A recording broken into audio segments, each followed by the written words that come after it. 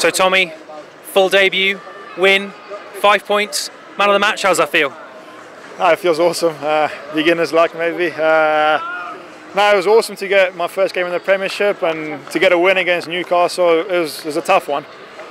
Definitely wasn't easy, uh, but it was nice to get a win and uh, we can kick on from this now. As I'm just really happy. Like it's been, I haven't played a like a proper game of rugby since April, so it was just nice to get out there and with the boys and just have some fun, and that's what we did, I think. A quick start for you after arriving from the summer. What was it like joining in and getting to know the Harlequins' way of playing in a win? Yeah, well, we tried to get the Harlequins' way uh, for, for the whole game. It was a bit tough because Newcastle made it really difficult for us, but I think we always play with a smile on our face and we just tried things as much as possible. Um, which sometimes it didn't work, but in other games it's going to work. So we'll just look at that and then keep on building this, keep on building building our identity, and just keep playing the Harlequins way as uh, for the whole season. And Worcester at home next week, the first game back with a full stoop. Yeah.